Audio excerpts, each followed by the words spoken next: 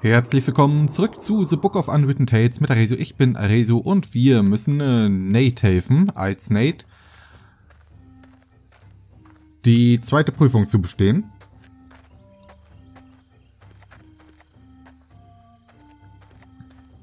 Jetzt haben wir hier unser Gespräch. Ich brauche einen Bogen und einen Pfeil. Hast du vielleicht so etwas? Nein, aber ich kann dir einen besorgen. Geh zum Krämer und sag ihm, dass du 97 Kupferkessel kaufen willst. Der Preis spielt keine Rolle.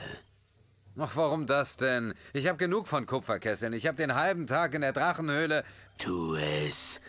Dann besorge ich dir den Bogen. Hm, okay. Hast du vielleicht 97 Kupferkessel? Was? Aber wieso denn? Na, na dann.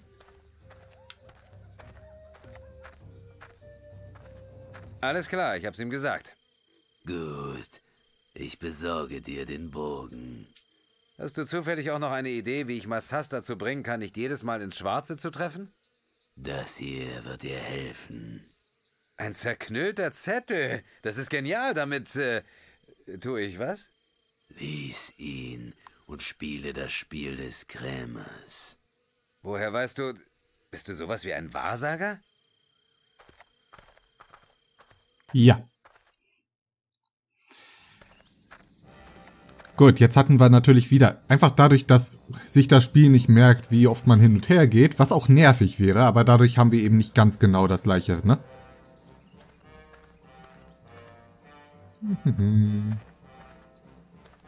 Ich sollte dem Universum und... Ja, okay, immer wieder der gleiche Spruch.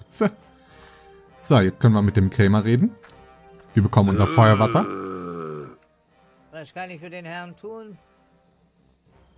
Um nochmal auf das Feuerwasser zurückzukommen. Was bieten Sie mir an? Ich habe einige Kupferkessel im Angebot.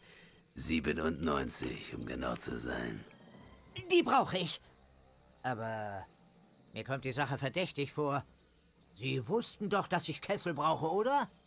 Es ist mein Job, alles zu wissen. Also gut. Il, hier ist die Flasche Feuerwasser. Aber sei vorsichtig. Sie ist wertvoll.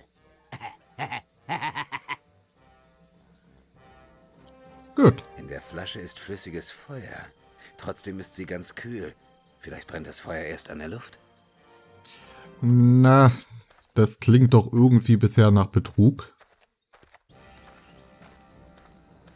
So, wir gehen...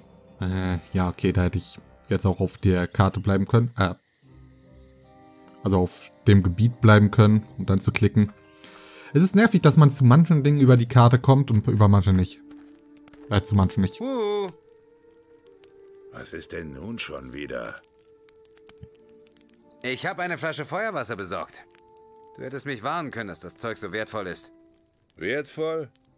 Es kostet ein paar Kupferstücke und man bekommt es hier in den wilden Landen an jeder Ecke. Aber warum? Ich war nur zu faul, es selbst zu holen. Außerdem wollte ich dich loswerden. Verständlich. Gib schon her. Ich habe das Gefühl, wir wurden betrogen. Hier hast du das Geweih. Danke. Ah, nicht so laut. Ich muss mal raus. Irgendetwas stimmt hier mit der Luft nicht. So, okay, das Geweih ist direkt schon in der passenden Form. Das ist der Knochenbogen. Oder zumindest der größte Teil davon. Die Sehne fehlt noch. Das Geweih und die Sehne zusammen ergeben meinen altbewährten Knochenbogen. Sehr gut. Ein mächtiger Knochenbogen. Kein Zielfernrohr, ansonsten nicht schlecht. Gut. Dann wieder zurück.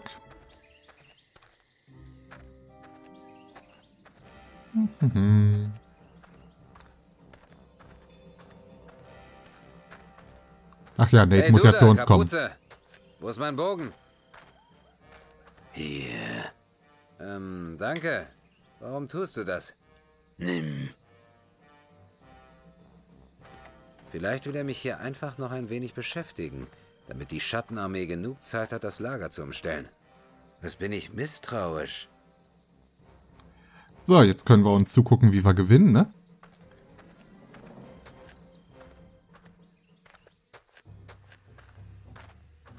Der Mensch hat die Prüfung Hier haben wir wieder der diesen seltsamen Strich. gewonnen. Unmöglich. Ich. Ich habe gesprochen. Der Mensch gewinnt. Auch den zweiten Wettkampf. Das ist nicht. Ich. Heulst du gleich?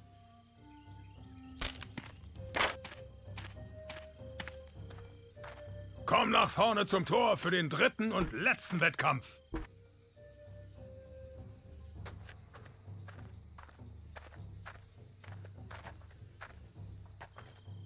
Okay. Und es Tja. gab schon Leute, die meinten, ich wäre peinlich. Aber jetzt sollte ich mich sputen. Ich muss dafür sorgen, dass Massas ihren Lauf nicht beendet. Ja, dazu müssen wir irgendwie eben noch die Oger hochkriegen, ne?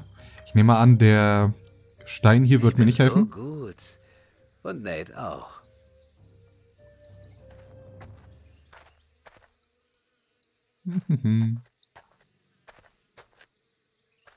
Hallo. Was denn nun schon wieder? Können du und dieser Kriegerverschnitt mich nicht einfach in Ruhe lassen? Geht man so mit Kunden um? Kunden?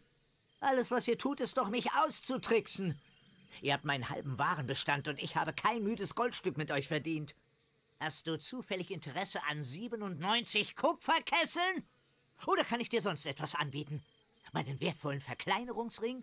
Oder mein letztes Hemd? Oh, der Verkleinerungsring Ring könnte helfen.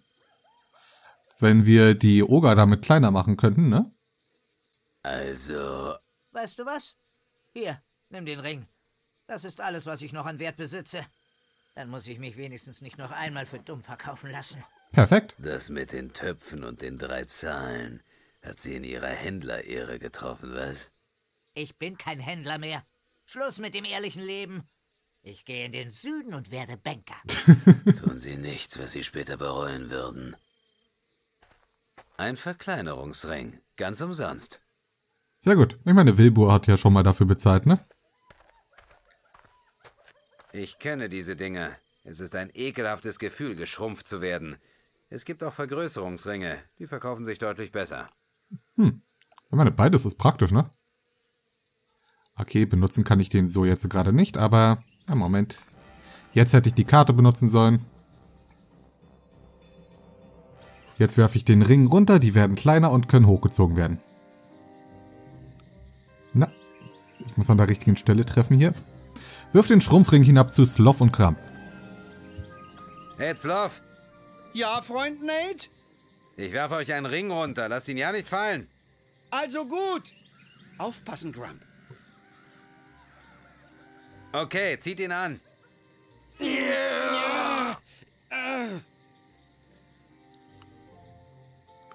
Erstaunlich, dass der Ring überhaupt gepasst hat, ne? Schnappt sie euch, Jungs.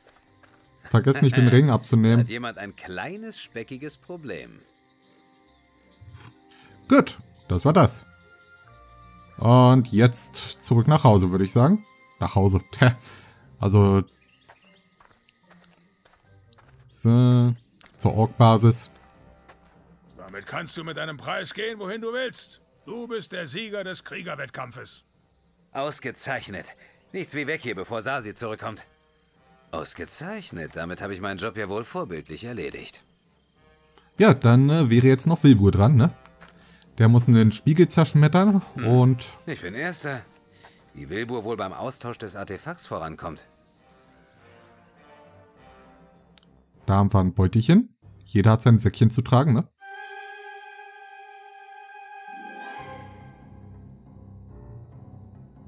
Ein kleines Spiel mit dem Mission Impossible Track.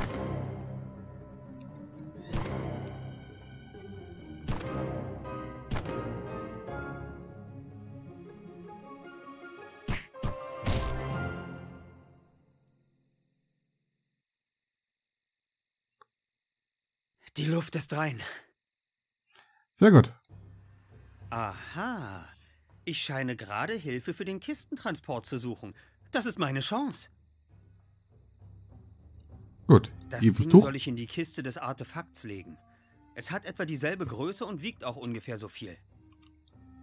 Okay, ich nehme an, das Entkommen wird das Schwierige sein. Außerdem machen wir eben den Spiegel kaputt, aber Verflixt. Wir sehen nicht mal, wie wir den Spiegel zerdeppert haben. Hallo? Ist da wer? Nein. Meine Nerven müssen mir einen Streich gespielt haben. Oder hier ist ein unsichtbarer Einbrecher. das ist die Kiste. Also los.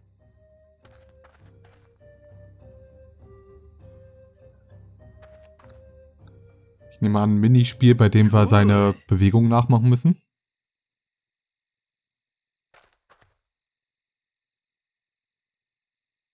Nee, nicht mal.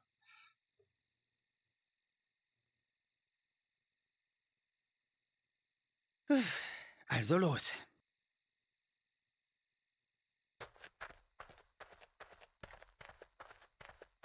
Tja, das war einfach. Das war knapp. Das auch. Sei doch mal etwas optimistischer. Was soll jetzt noch schiefgehen?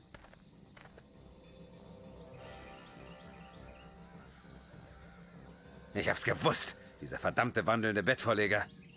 Keine Bewegung. Ich. Ich bin ein Magier. Ich weiß, ich weiß, kleiner Mann. Ich hätte dir das schon damals in Seefels nicht zugetraut. Und von dir hätte ich erwartet, dass du mal wieder deine Freunde im Stich lässt. War der Text nicht anders beim letzten hätte ich Mal? mir dann dieses Gefasel nicht anhören müssen. Schauen wir mal, ob du immer noch einen flotten Spruch auf den Lippen hast, wenn du vor Mutter stehst. Nein!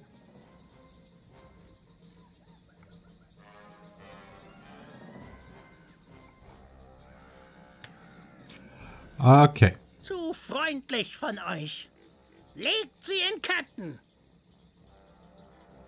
Gut. Ivo befreit uns. Müssen wir jetzt eventuell noch Ivo spielen, wie sie dort befreit, aber eigentlich glaube ich es nicht. Hi. Hat man uns gefangen genommen? Yep, hast du das Artefakt ausgetauscht? Ja. Wo ist Ivo? Hier bin ich. Und ich habe eine Transportmöglichkeit organisiert. Hat sie sich mit der Drachin verbündet? Ui. Hüpft drauf. Ich muss euch beiden noch durch die Zeit zurückschicken. Und ihr müsst noch etwas anderes für mich tun. Die wilden Lande noch einmal, immer noch bei 5. Also schön, ich muss mich beeilen. Nate und Wilbur sind oben gefangen. Okay, ja. Da war das Das Tellarium. ist das Telarion. Der Erzmagier hat es mir gegeben. Es ist der große Bruder von Wilburs Amulett, wie der Erzmagier es nannte. Damit sind Reisen nicht nur durch den Raum, sondern auch durch die Zeit möglich. Gut. Okay, wir können tatsächlich nach Zum Glück unten. sind hier keine Wachen. Weiter. Ich nehme an, das müssen wir auch dann noch.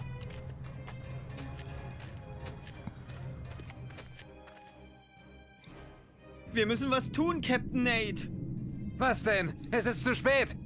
Mutter, du hast nach dem Artefakt des Schicksals verlangt und ich habe es dir gebracht.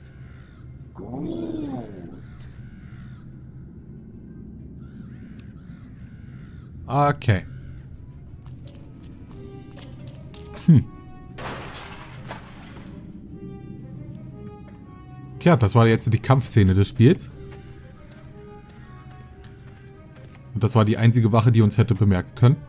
Alle anderen gucken die ganze Zeit die Was? Mutter an. Psst, später. Los, berührt beide das Amulett. Bis gleich.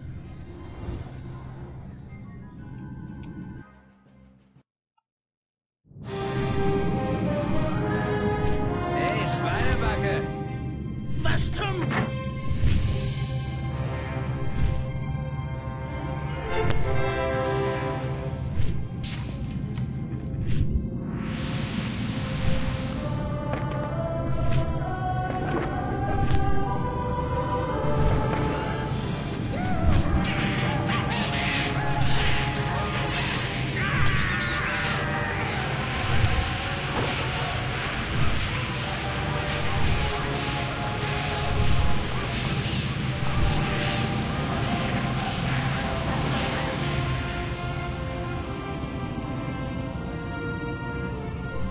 Was ist mit dem echten Artefakt passiert?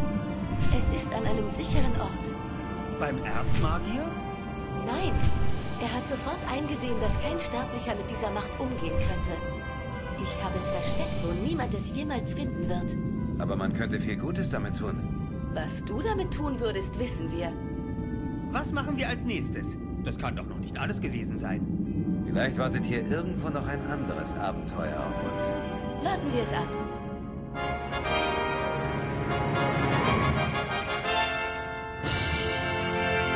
Das Ende. Ja. Okay. Äh, ich war erst ehrlich gesagt nicht darauf vorbereitet, dass das jetzt die letzte Folge ist. Ähm. Okay. Dann muss ich jetzt so das Fazit schnell improvisieren. Das Gute ist, ich improvisiere die Fazits immer, aber verratet niemandem. Okay. Ja, was können wir so sagen? Die Musik erinnert die ganze Zeit eben an, naja, sowas wie Indie.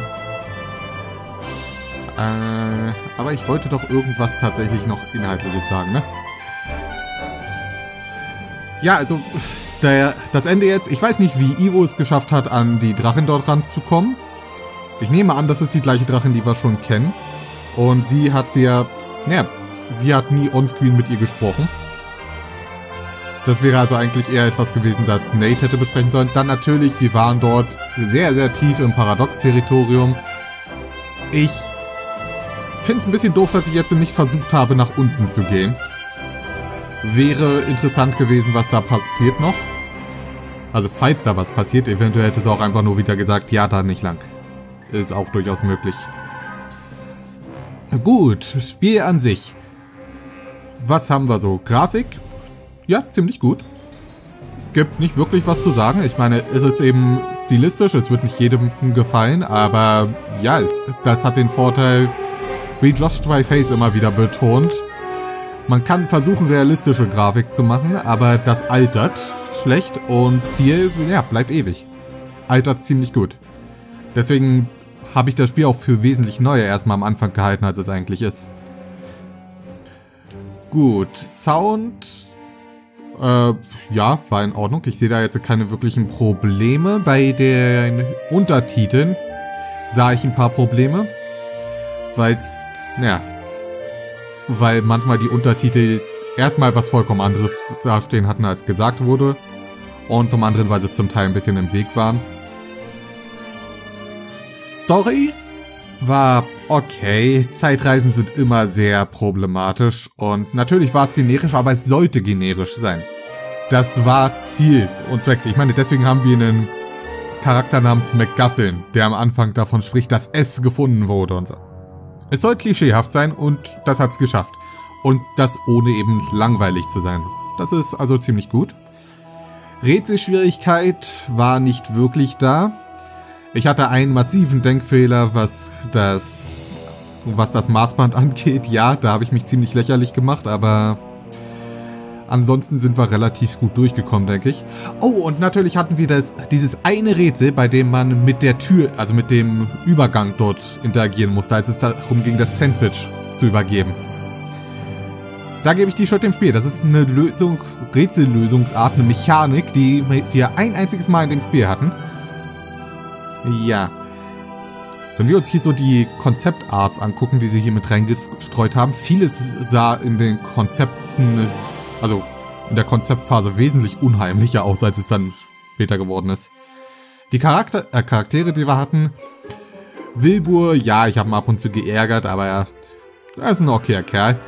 Ivo, ja, hab sie ab und zu geärgert, aber ja, sie ist eine okay Kerlin. Nate. Ja. was haben wir noch so zu sagen? Ähm, die Synchronsprecher an sich waren auf jeden Fall gut. Ich meine, die haben ja auch ziemlich hochkarätige hier zum Teil gehabt, ne? Es gab ein paar, gibt ein paar Dinge, die noch offen sind. Zum Beispiel wissen wir, dass der Bruder des Magiers seinen Erzmagier treffen wollte. Ich hätte es besser gefunden, hätten wir gesehen, wie Ivo dort tatsächlich den Erzmagier trifft, aber das wäre eben so, ein, so eine Exposition-Szene gewesen und ich nehme an, die wollten sie nicht groß mit reinbringen. Die paar Cinematics, die wir hatten, sahen auch nicht schlecht aus. Ich meine, ja, ich denke für einen Einstieg und gerade fürs Finale ist es wahrscheinlich gar nicht schlecht, die zu haben, ne?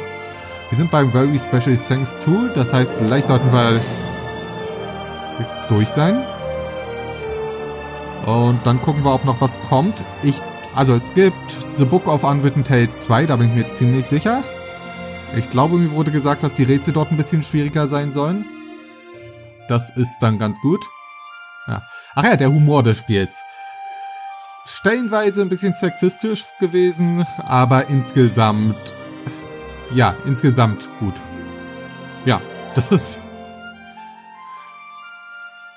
ja, also ich meine, vieles von diesem Sexistischen wird natürlich dadurch gerechtfertigt im Prinzip, dass wir einen schlechten Kerl wie Nate dort eben haben.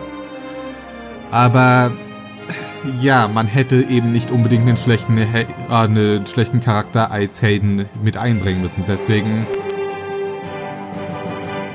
Da, Source Code 1994 bis 2002. Das ist... Moment. Achso, nee, da geht's um Warbles, nicht um das Spiel. Das, ja, 1994 wäre ein bisschen früh gewesen, denke ich. So, kommt noch was? Hallo, Wilbur? Oh ja, der Tod. Hm. Hallo?